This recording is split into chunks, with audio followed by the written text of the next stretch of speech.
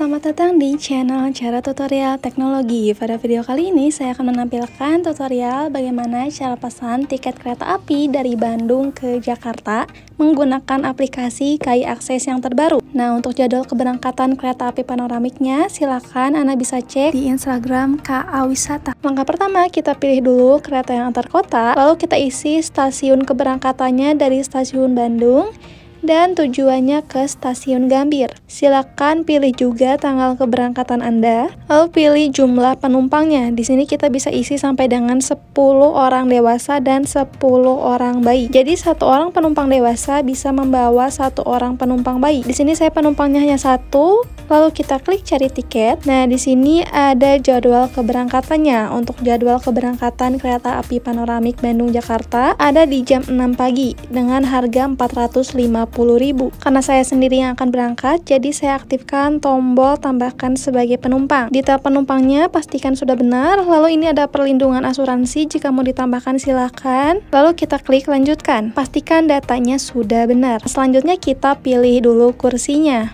Di sini sudah ada beberapa kursi yang terisi. Saya pilih di nomor 4D dekat jendela lalu kita klik simpan. Kemudian kita lanjutkan lagi. Di sini juga ada rail food. Kalau mau sekalian pesan makanan silakan. Kalau enggak nanti di skip aja. Karena kalau naik kereta api panoramik biasanya kita dikasih snack dan minuman. Juga ada minuman hangat yang free refill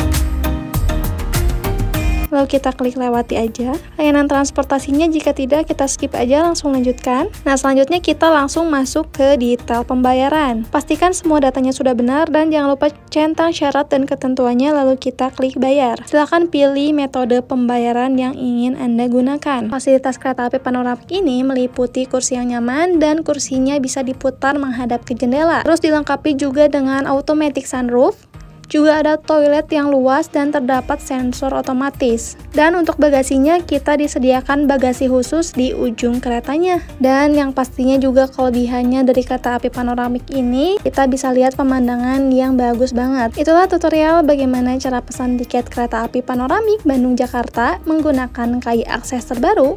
Semoga bermanfaat. Jika ada pertanyaan boleh ditulis di kolom komentar.